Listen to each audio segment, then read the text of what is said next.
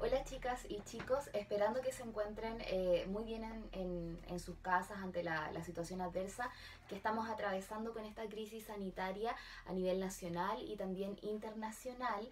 Eh, hoy día nos hemos reunido en esta primera grabación de video clase donde la finalidad es obviamente proporcionarles a ustedes algunas orientaciones, algunos contenidos teóricos también, que les pueden servir para poder realizar las actividades que nosotros les vamos a, a dar como tarea para que ustedes las desarrollen en sus casas. ¿Ya?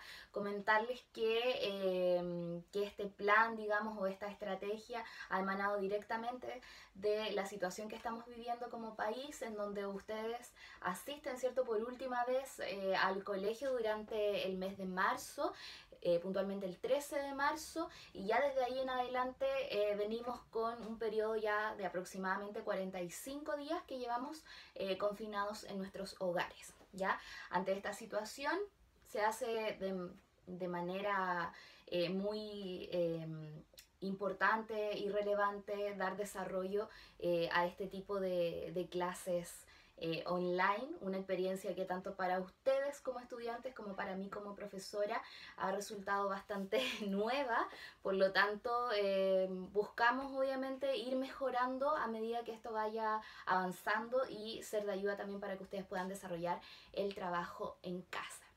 ¿Ya? Eh, para los estudiantes que a lo mejor son nuevos y que no me alcanzaron a conocer, recuerden que tuvimos formalmente, creo que fueron dos clases que, nos alcanzamos a ver. Mi nombre es Maribel Zambra Aguilera y yo soy la profesora que eh, va a desarrollar la asignatura de Educación Ciudadana en tercero medio. ¿Ya?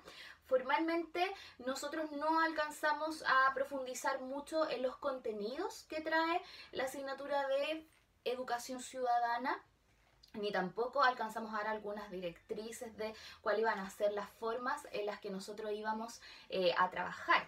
Por lo tanto, yo eh, lo que voy a hacer hoy día en esta primera video clase es en una primera parte entregarles un breve enfoque de las unidades que se van a trabajar eh, a lo largo del año, cuál es la pretensión que tiene esta nueva asignatura que se incorpora a tercero medio y que pasa a reemplazar la asignatura de historia eh, y geografía.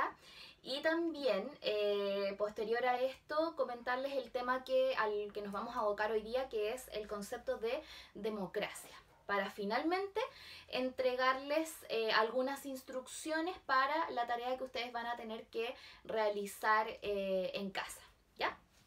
Considerando entonces la, la primera parte de, de este video clase, comentarles que eh, la asignatura de educación ciudadana lo que busca en sí es entregarle a los estudiantes eh, una serie de herramientas para que ellos puedan desenvolverse de manera óptima en las sociedades democráticas a las cuales ustedes eh, pertenecen o forman parte. Ya esa es finalmente una de las principales pretensiones que tiene la asignatura de educación ciudadana si nosotros aprendemos, ¿cierto?, a desarrollar el pensamiento crítico, a desarrollar ciertas habilidades que nos permitan desenvolvernos en las sociedades en las cuales nosotros formamos parte, eh, debiésemos, ¿cierto?, ser ciudadanos de bien y aportar a valores que son muy importantes en las democracias, como por ejemplo el bien común, la justicia social, el desarrollo sustentable, entre tantos otros, ¿ya? Por lo tanto, eso es lo que busca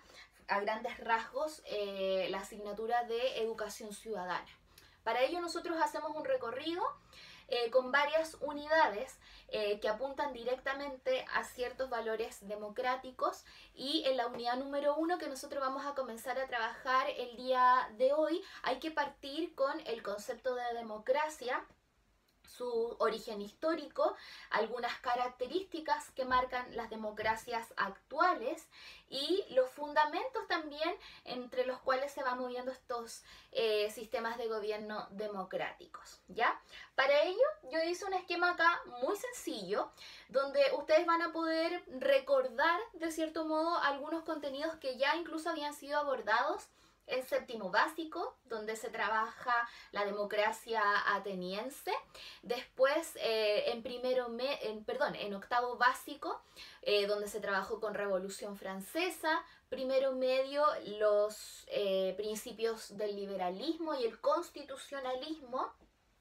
Y el año pasado también en segundo medio que tuvieron la, la, posibilidad de estudiar cómo la democracia a medida que avanza el siglo XX se quebranta, pero también se va refortaleciendo. ¿Ya?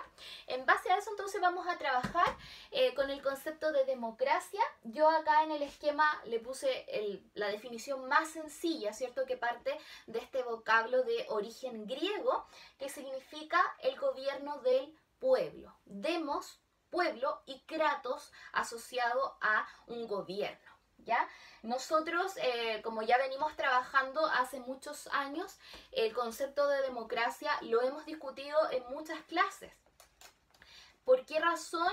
Principalmente porque eh, al igual que muchas personas que escriben o que han escrito sobre la historia política a lo largo del mundo, siempre llegábamos a la conclusión que la democracia teóricamente o digamos en papel está muy bien escrita y definida, pero en la praxis o en la práctica mm, muchas veces se sale un poco de, de su significado formal.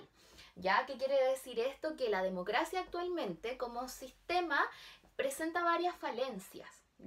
Y cuando hablamos de estas falencias, no solamente nos tenemos que quedar entrampados en algunos temas que son puntualmente políticos, como alguien pudiese pensar, como por ejemplo el tema de la representatividad, que alguien podría decir, sí, efectivamente hay muchos problemas políticos al interior de la democracia. La democracia no se queda solamente en algo político, es algo que atañe a toda la sociedad y finalmente es una forma de vida en comunidad, ya que incluso se practica al interior de sus hogares, por ejemplo. Entonces, cuando hablamos de las falencias que presenta la democracia, tenemos que ir mucho más allá de la política y lo podemos incluso asociar eh, a problemas relacionados con el medio ambiente, eh, problemas relacionados también con, con, la interculturalidad, problemas que existen con eh, los inmigrantes actualmente. La democracia da para mucho porque, vuelvo a insistir, tiene que ver con una forma de vida en comunidad más que un sistema que atañe 100% lo político. Ya tenemos que tener entonces una altura de miras para entender en su totalidad el concepto de, de lo que es la democracia. ¿Ya? Teniendo entonces en cuenta eh, esa definición muy cortita que sería gobierno del pueblo, pasamos ahora a recordar la línea histórica o el origen histórico que tuvo eh, la democracia. ¿Ya? Acá aparece la, primera, el primer antecedente que nosotros tenemos con el concepto de democracia que eh, tiene su origen en la democracia ateniense que se comenzó a practicar por allá por el siglo VI eh, antes de Cristo y donde destaca la figura de las asambleas que se practicaban eh, en lugares tan, digamos, reconocidos democráticamente al interior de la polis griega, que en este caso sería la figura del ágora. ¿Ya? Entonces estas asambleas o eclesia, como se le acostumbra eh, a llamar, busca que los ciudadanos puedan participar en los asuntos de la polis, ¿ya? Esta democracia no era democracia en un 100% si es que la comparamos con el modelo que nosotros tenemos actualmente. ¿Por qué no era democracia en un 100%? Partiendo porque era una democracia excluyente, que quiere decir no todos podían participar en los asuntos de la polis. Habían algunos actores que quedaban marginados de participar en la vía política, como por ejemplo las mujeres, las personas que no cumplían con el límite eh, de edad y también los extranjeros, ya las personas que, eran, eh, que no pertenecían a la polis, que, eran, que estaban fuera, digamos, como de esta, de esta nación, entre comillas, y también los esclavos, ¿ya? Por lo tanto, estas personas no tenían, digamos, eh, arte ni parte en las, en las decisiones que se tomaban al interior de la polis. Es entonces excluyente. Eh, en segundo lugar, otro factor que también la hace diferente a la democracia que nosotros tenemos actualmente es que es una democracia de tipo directa. ¿Qué quiere decir? Se practicaban asambleas y ahí eh, las personas que estaban en calidad de ciudadano podían, ¿cierto?, tomar la palabra y participar en la toma de decisiones.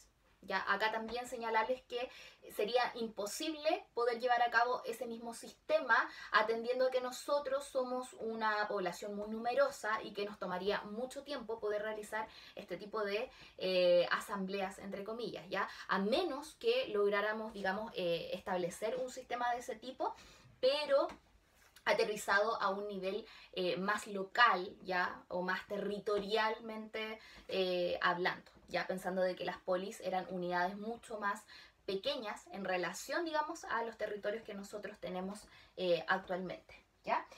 Y em, comentarles también que luego de la democracia ateniense nos pegamos un salto enorme histórico, porque acá en un segundo lugar aparecen las democracias modernas, que habría que situarlas puntualmente en el siglo XIX.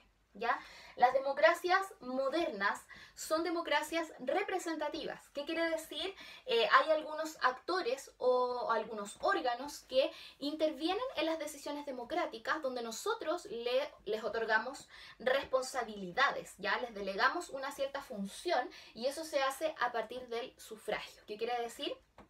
Yo como ciudadano, para el caso chileno, cumpliendo eh, los 18 años, ya puedo participar de, eh, de, las elecciones formales y poder elegir a los representantes que van a, digamos, a cumplir ciertas funciones en algunos órganos del Estado.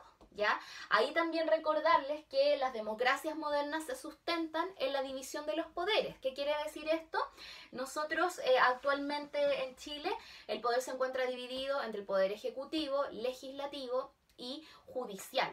Estos tres órganos lo que buscan es eh, complementarse cada uno desde su vereda y poder, ¿cierto?, eh, hacer que la democracia finalmente funcione. ¿Ya? ¿Por qué se hizo esto? Porque en algún momento de la historia, nosotros lo estudiamos en octavo básico, las monarquías absolutas, ¿cierto? De manos de los reyes, concentraban todo el poder. Desde ahí, ¿cierto? Vienen una serie de cuestionamientos con los pensadores ilustrados, donde ellos llegan a la, a la conclusión de que el poder hay que dividirlo, no se puede concentrar en una sola persona y es ahí también donde empiezan a aparecer conceptos que son propios de la ilustración, que sustentan las democracias modernas, que es el tema de la igualdad y los derechos y los deberes que tenemos nosotros como seres humanos, ¿ya? Derechos que son garantías, digamos, que nosotros eh, las tenemos de manera inherente como seres humanos y que el Estado debe respetarlos y también deberes que nosotros tenemos que cumplir ya como ciudadanos que formamos parte de sociedades democráticas, ¿ya? Ahí entonces tenemos una, una, comparación entre los dos tipos de democracia, la democracia ateniense y las democracias modernas, espero que todos estos conceptos teóricos que acabamos de mencionar eh, les sirvan a ustedes para poder recordar un poco la materia de años anteriores, que tal como yo lo partí explicando al principio, eh, se aplicó en diversos contenidos que nosotros trabajamos, por ejemplo el año pasado cuando trabajamos con los totalitarismos, ahí también trabajamos desde una visión democrática, cómo se quebrantaban los sistemas democráticos en Europa y cuáles eran finalmente eh, algunas características que que salían de este tipo de, de, sistema, ya que era un sistema bastante autoritario, que no respetaba los derechos de las personas, que se centraba, por ejemplo, en un partido único, ¿ya? Todas estas características son antidemocráticas, ¿ya? Tomando entonces como base toda esta primera parte donde yo les entrego eh, una visión más bien holística o general de lo que vendría a ser la democracia, su origen histórico y sus características, voy a pasar a explicar la actividad que ustedes van a tener que hacer. Para el caso de educación ciudadana, eh, nosotros estamos trabajando directamente con el texto del estudiante, que tengo entendido que ya fue eh, facilitado eh, a los apoderados que asistieron al colegio a, a, retirarlo porque llegaron de manera tardía ya, atendiendo que es una asignatura nueva. Entonces vamos a trabajar con el texto del estudiante que está bastante bien organizado, digamos, para poder trabajar los temas que vamos a tratar. Lo que van a tener que hacer ustedes es trabajar en dos eh, actividades que aparecen en, en, su libro, ya que van a estar detalladas en el Word que yo les voy a, a entregar. Y la actividad en sí consiste en analizar algunos documentos ya o fuentes históricas que nos hablan sobre los fundamentos de la democracia. Tal como yo les partí diciendo en el video, la democracia tiene infinitas miradas, infinitos cuestionamientos también en su teoría y en su práctica. Entonces la idea es que a partir de estas eh, lecturas ustedes puedan eh, analizar los fundamentos en los que se mueve la democracia siempre desde una mirada crítica y tratando también de complementar los contenidos que se vieron eh, años anteriores. ¿ya? Los dejo invitados entonces para que ustedes puedan hacer la actividad. Yo les puse ahí como plazo de entrega para el 13 de mayo, donde ustedes debiesen enviarme a mí la actividad para yo después eh, chequear la entrega y poder hacer nuevamente una video clase con la retroalimentación correspondiente. ¿Ya? Entonces, eh, tomando en cuenta todo lo que les acabo de mencionar, espero que puedan realizar eh, la actividad y nos volvemos a encontrar en una próxima oportunidad.